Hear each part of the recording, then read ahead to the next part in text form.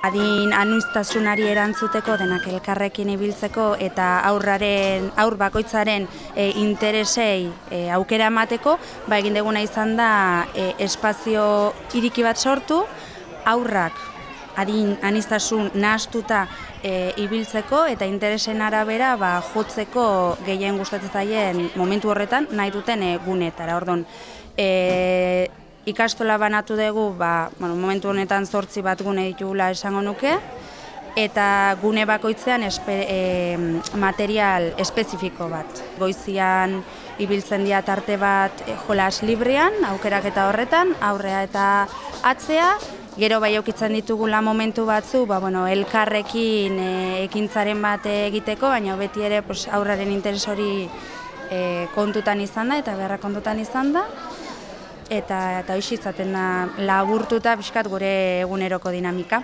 Guk eraikin hontan urte asko daramazkigu, bai eraikinak e, udalaren eraikin bada, e, udalarekin e, bueno, ba, zesio kontratu bat genuen, e, orden baitan telatu eta lehioak e, aldatzeko konpromisoa genuen, baino pixkat aratago joan gara, eta jain deuna da lehioak eta telatu aldatzeaz gain, espazioak paretak bota, espazio irekia antolatu, eta konfiantzaren pedagogia deritzen proiektu berria implementatu. Eta bueno, ba, bai da erakun, eraikin bat aukera ematen dituenak, ba, bueno, ba, olako zerbait goxoa eta berria egiteko. Eta hori da egin duna, behar batetikan, baia salto kualitatibo handi bat egin eta proiektu berritzaile bat martxan jarri. Ba, berez eraikin honek baldintza pedagogiko ezin hobiak zitun e, naturalki ez, orduan, mm. ba, bueno, aprobetsatu da tiroioi eta, eta aurrea. Eraikin honetan e, hasi da bide hau ez, e, eredu pedagogiko berri honi hasiera mantzaio hemen, baina pixkanaka pixkana ba, badijua e, bilabonan ere hasierako lehenengo pausuak ematen. Bilabonan beste eraiki, bi eraikin badaudelako.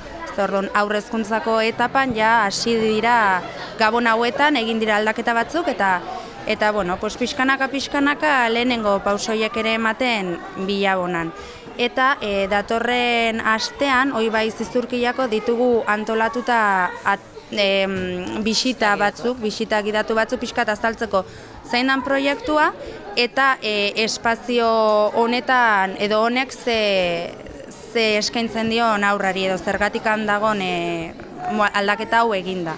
Piskat, informazio hori eskaini. Izango da e, datorren asteazkenian hasita emezortzi, emeretzi hogei eta hogeita bat. Ordon e, ikastolara deituta eta izena eman da, pues, antolatuko genuke izan daiteke bakarka edo talde txikian, kopuruan e, arabera, baina bueno, ikastolara deituta informazio guztia emango dugu.